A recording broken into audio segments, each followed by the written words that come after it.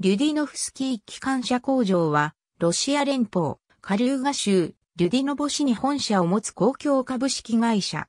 主にディーゼル機関車の製造を行う工業製品メーカーでシナラトランスポートマシーンズの子会社である。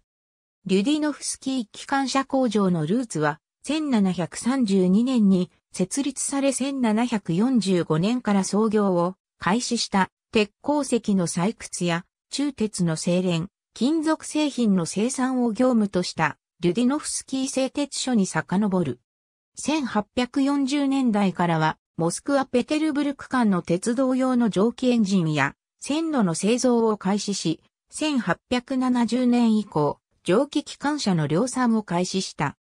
以降は入れ替え、小運転用や産業鉄道向けに400から500馬力の蒸気機関車の製造が1959年まで続けられ、それと並行して蒸気ボイラーやラジエーター、ストーブ、調理器具など建物の部品や日用品としての金属製品の生産も行われた。1957年には社名を現在のリュディノフスキー機関車工場に改め、ディーゼル機関車の生産を開始した。当初はトルクコンバータを備えた液体式ディーゼル機関車を専門に製造していたが、1974年の天7型以降は、電気式ディーゼル機関車の開発、生産も実施している。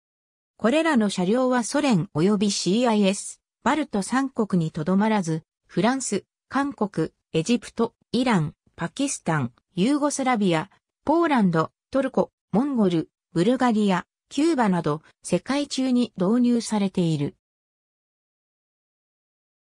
また1990年代以降は事業用車両の生産も実施している。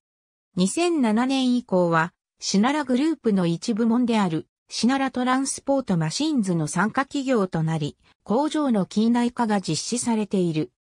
TGM3 型 TGM4 型 TGM4 バイト型 TG16 系 TG16M 型 10.7A 型1014型テラ型液体式電気式ありがとうございます。